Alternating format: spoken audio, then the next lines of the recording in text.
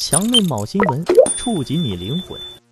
二零二四年三月一日二十一点零一分，阿根廷总统米莱发表首次国情咨文演讲及政府工作报告。这场演讲的收视率达到了百分之五十一，超过了阿根廷足球队的世界杯决赛收视率。米莱人狠话不多，首先专门针对自己的特权下狠手，既卖掉总统专机，把自己的年薪二十点五万美元退还给国家后，这次更逆天。宣布取消总统、副总统、议长、议员们的退休特权，退休后与平民一样，国家不再为这些人提供特殊的照顾。你来演讲金句频出，他说：“有些人是因为害怕变革，有些人则是因为他们是这个旧政权的受益者。我们必须让社会意识到，大多数政治阶层不愿意放弃特权，他们推翻了我要推行的政策。我们还看到一些省长。”他们只关心确保自己有足够的资金，以便能够继续进行公共支出，好从中捞取油水。我们的自由化改革模式将解放阿根廷人的生产力和恢复自由，以结束身份政治特权，但却被抵制变革的政治阶层所操纵和拒绝。因为我们必须面对现实，有一群人，那些政治老手，他们并不想失去过去政权的特权，他们不愿意接受现实。不认为阿根廷将结束了特权的时代，在我们这样一个贫穷的国家，政府用人民的钱来收买记者的意愿，这是不道德的。除了这些金句之外，米莱在演讲中宣布将结束几十年来阿根廷的政治特权制度。这种制度下，政客及其朋友享受一等公民的待遇，而普通阿根廷人只能是二等公民。巨额的公共支出、赤字。财政问题、债务和货币印刷制度，政治精英们利用这体制，从优秀的阿根廷人那里夺取财富，并把财富分给他们的朋友和支持者。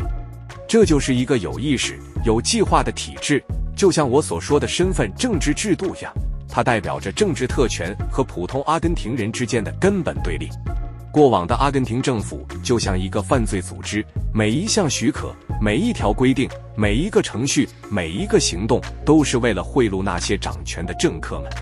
政府的各个部门，包括行政、立法、司法等权力机构，以及各级政府，都参与了这种腐败的计划，并且得到了依靠官方广告生存的媒体的支持。他们之所以支持这种模式，是更诱人。因为贿赂的回报比市场竞争的回报，但现在在阿根廷，每十个人中就有六个生活在贫困中，而很多政客就像在座的很多人一样，却过着富裕的生活，现场打脸不怕台下翻脸，因为这会导致通货膨胀，让所有阿根廷人的钱贬值。那么，我们凭什么要被通货膨胀剥夺呢？最后这些钱不是进入了政客的口袋吗？网友评论说。这是全球最炸裂的政治宣言，表现出一如既往的自由意志主义和米莱风格，让所有政治谎言和陈词滥调无处遁形。他说，总统和副总统在任期间，国家已经给予相应的待遇，所以退休后也应该和其他国民一样，不能再享受什么特权。之前，他兑现了大选时的承诺，把政府部门砍掉了一半，大批特权阶层因此失去了腐败的平台。解雇了数万名公务员，取消了许多补贴，减少了对各省敲诈勒索式的转移支付，推进国企私有化改革，解除外汇限制也指日可待。这次他把矛头对准硬骨头工会阶层。在三月一日给议会的国情咨文中，米莱还要求工会以及所有公共组织的领导必须在司法监督下定期公开选举，四年一届，最多连任一届。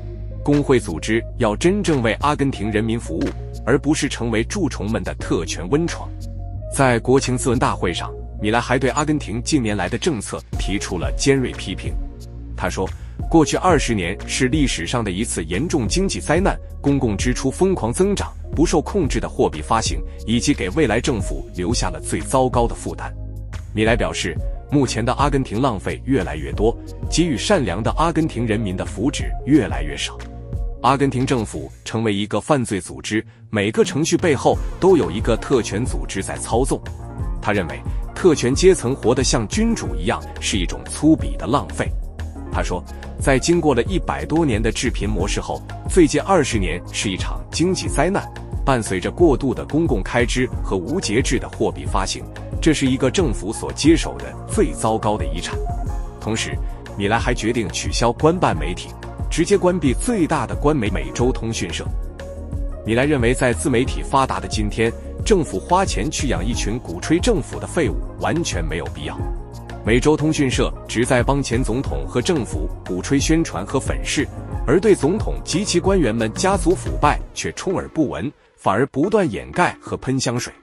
根据司法部门掌握的材料，克里斯蒂娜在2007年就任阿根廷总统前，成立了一家投资和金融咨询公司。她和丈夫、儿子都是公司成员。他们的儿子马克西莫担任公司的总经理。反对党指责克里斯蒂娜的个人财产增长过快。二零二二年十二月，克里斯蒂娜总统因贪腐被判六年监禁。米莱还宣布，那些因腐败被判刑的人员将失去官员所享有的任何福利，终生不得参加国家各级选举，不得担任任何公职。那些因参加罢工而未能到岗的公共职员将被扣除当天的薪资。对于未来，米莱称，他得到了数百万想要真正变革的阿根廷人的支持。他有雄心，也有决心兑现自己的竞选承诺，还人民一个重新富裕的新阿根廷。米莱还向阿根廷国会提出五月协议，作为国家新的社会契约，他邀请国会于五月二十五日在科尔多瓦与他一起签署以下十点改革承诺：一、私有财产不受侵犯；二、不可谈判的财政平衡。三、公共支出减少至历史水平，约占国内生产总值的百分之二十五。四、税收改革，减轻税收负担，简化阿根廷人的生活，并促进贸易。五、重新讨论联邦税收与各省的分享，以结束当前的敲诈勒索模式。六个省承诺促进国家自然资源的利用。七、促进正规就业的现代劳动改革。八、养老金改革应赋予制度可持续性，尊重缴费者。并允许愿意的人加入私人退休制度。九、结构性政治改革，改变现行制度，重新调整代表与被代表的利益。十、国际贸易的开放，使阿根廷再次成为全球市场的主角。